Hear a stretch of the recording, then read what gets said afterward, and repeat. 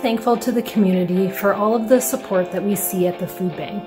When I'm on shift, I see a lot of donations of food items, but also non-food items. This would be essentials like toothpaste, shampoo, diapers, and feminine hygiene products. It's really heartwarming to see all of the generosity that comes from the community. So on behalf of the food bank, thank you so much for your support.